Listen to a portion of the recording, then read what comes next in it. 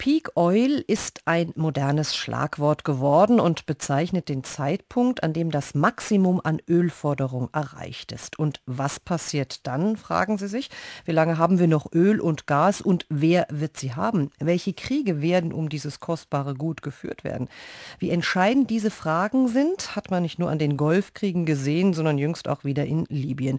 Und diese Frage stellt sich schon lange eine Runde von Experten, die sogenannte ASPO, Association for the Study of the Peak Oil and Gas. Und die ASPO tagt gerade in Wien und einer der Vortragenden auf diesem Kongress ist Professor Daniele Ganser, Historiker und Leiter des Swiss Institute for Peace and Energy Research, also Energieforschung.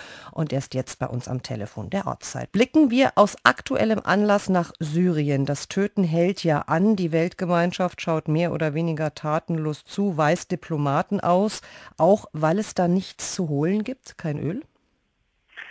Nun, äh, Syrien ist ein komplexer Fall, aber es ist ein Land, das ganz nahe an den großen Erdölquellen äh, liegt. Das heißt, es gibt in Syrien wenig Erdölförderung, es gibt eine ganz kleine, aber die ist nicht so wichtig. Wichtiger aus geostrategischer Sicht ist eigentlich die Nähe zum Irak. Syrien äh, ist ja Nachbarland vom Irak und darum sind internationale Akteure in diesem Syrien-Konflikt engagiert. Auf der einen Seite sind das die Saudis, das ist ja das Land mit den größten Erdölreserven, die sind aktiv äh, in Syrien drin, unterstützen die Gegner von Assad, auch die USA sind in Syrien aktiv, unterstützen auch die Gegner von Assad, also Assad eben der Herrscher in Syrien. Und der Iran ist auf der anderen Seite und äh, stützt Assad. Also wir haben auch hier äh, sozusagen äh, Erdölplayers, die äh, um Syrien ringen. Gerade die Situation im Iran, weil Sie das Land auch angesprochen haben, das liegt ja alles in der Nähe. Dort greift ab dem 1. Juli ja das europäische Ölembargo, also kein iranisches Öl mehr nach Europa. Und die Iraner drohen ja immer wieder gerne mit der Blockade der Straße von Hormuz, durch die ja ein Fünftel des Rohöltransportes geht. Droht da der nächste Konflikt um Öl? Ja, die USA und Israel ähm, sagen, sie wollen den Iran angreifen, äh, um zu verhindern, dass der Iran eine Atommacht wird.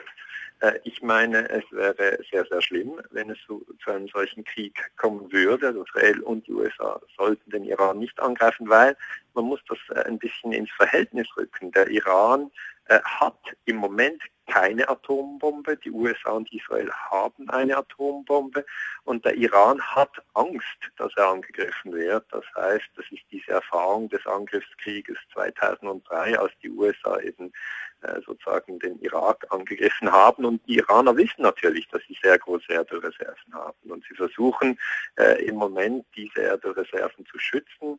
Ich hoffe nicht, dass es zu diesem äh, Konflikt kommt. Wenn er kommt, da sagen Sie richtig, ist diese Straße von Hormuz, das ist also im Persischen Golf, ganz im Süden, ist natürlich fragil, die kann äh, sozusagen gesperrt werden, da kann es dann zu starken Erhöhungen des Erdölpreises kommen. Der ganze Persische Golf im Übrigen ist äh, seit äh, der Peak-Oil-Diskussion noch viel stärker in den Vordergrund gerückt, weil es ist im Moment so, dass in Europa die Erdölförderung zurückgeht. Das ist ganz viel nicht bekannt, aber in Norwegen und in Großbritannien ist das Fördermaximum Peak Oil erreicht, die Produktion geht zurück. Auch in Indonesien ist das Erdölfördermaximum Peak Oil erreicht, die Produktion geht dort zurück. Äh, auch in Mexiko ist die Förderung äh, an ein Maximum gestoßen, die Förderung geht zurück und darum achten nun Chinesen, Japaner, Amerikaner und auch die EU so auf den, auf den Golf, weil dort hat es noch viel Öl und Gas.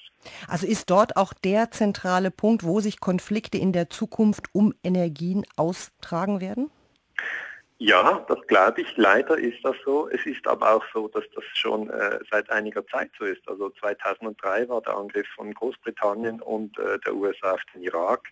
1990 hatten sie die Invasion äh, von Kuwait. Da war also zuerst äh, Saddam Hussein in sein Irak, der Kuwait überfallen hat. Und dann hatten sie die von den USA angeführte internationale Koalition, die den sozusagen äh, Saddam Hussein aus Kuwait wieder vertrieben hat und, und das ist der wesentliche Punkt, danach in Kuwait äh, fixe Militärbasen aufgebaut hat, um eben äh, lokal das Erdöl zu kontrollieren. Diese Militärbasen hat man bis heute nicht abgebaut. Also habe ich Sie dann richtig verstanden, es geht natürlich nicht um Menschenrechte, sondern um wirtschaftliche Interessen. War das auch bei Libyen der Fall, wo vor allem italienische und französische Interessen im Ölgeschäft ja auch zu einem Eingreifen geführt haben? Ja, also das ist meine feste Überzeugung, dass in erster Linie diese Kriege Wirtschaftskriege sind. Das heißt, man nimmt eigentlich seine eigenen Interessen wahr. Und das tun die europäischen Länder äh, als eben auch die Amerikaner. Natürlich äh, erzählt man gegenüber dem eigenen Volk nicht, äh, dort im anderen Land gibt es Erdöl, wir erbeuten jetzt dieses Erdöl und töten die Leute, die dagegen sind, obwohl das wirklich getan wird. Ja, man tötet, um Erdöl zu kontrollieren. Aber das wird so nicht dargelegt. Man sagt dann, es geht um Massenvernichtungswaffen im Fall Falle vom Irak oder man sagt, in, in Libyen geht es um Menschenrechte. Aber wenn Sie es genauer anschauen, dann sehen Sie eigentlich, dass man nur äh, über Menschenrechte in Libyen berichtet hat vor dem März 2011, also genau bevor der Krieg angefangen hat. Äh, und danach, jetzt haben wir wieder Probleme mit Menschenrechten. In Libyen wird wieder gefoltert. Die Leute, die durch die NATO an die Macht gekommen sind, foltern ihre früheren Gegner. Das ist also, die foltern jetzt den Gaddafi. Das interessiert jetzt im Moment Aber pardon, wenn ich Sie ganz kurz unterbrechen darf, Herr Ganser, Sie haben gesagt, Interessen werden in Libyen durchgesetzt. Wie muss ich mir das denn vorstellen? Sie müssen sich das so vorstellen, dass in einem Erdölland die Erdölförderung staatlich ist. Das heißt, in Irak und in Libyen, das sind beides Mitglieder der OPEC. Das sind die Länder, die wirklich große Erdölreserven haben. Und da entscheidet also letzten Endes die Regierung über den Erdölminister, wer jetzt in diesem Land wie viel Erdöl fördern darf. Und da müssen Sie immer mit diesen Machthabern argumentieren, also mit Gaddafi in Libyen oder mit Hussein im Irak. Äh, und jetzt ist eben so, Hussein wurde erhängt und Gaddafi äh, auch irgendwie ist er gestorben und ist in der Wüste verscharrt worden. Und jetzt ist natürlich die ganze Situation neu.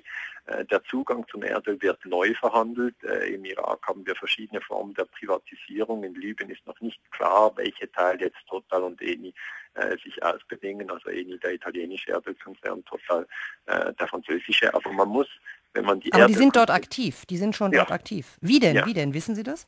Ja, das weiß man nicht ganz genau, wie das jetzt in Libyen sich entwickelt. In erster Linie versucht ein Erdölkonzern natürlich ähm, dort Erdöl zu fördern, wo es erstens gutes Erdöl gibt und äh, wo dieses Erdöl günstig zu fördern ist, weil der Erdölkonzern gewinnt ja an der Marge. Also wenn er mit mit einem Aufwand von 20 Dollar das Fass äh, aus dem Boden in Libyen bekommt und derzeit äh, 100 Dollar geboten werden für das Fass, macht, gewinnt er mit jedem Fass 80 Dollar. Und wenn Sie umgekehrt im Ölsand in Kanada fördern, vielleicht haben Sie da schon Bilder gesehen, da wird die ganze Landschaft umgepflügt, um diesen Ölsand zu gewinnen.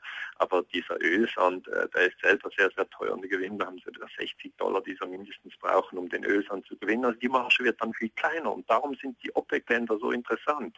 Da ist noch viel Erdöl, es ist relativ günstiges Erdöl und darum bin ich fest davon überzeugt, dass es wichtig ist, in Zukunft vom Erdöl wegzukommen, weil sonst verstricken wir uns in endlose Ressourcenkriege. Professor Daniele Ganser, Historiker und Leiter des Swiss Institute for Peace and Energy Research. Schönen Dank für das Gespräch.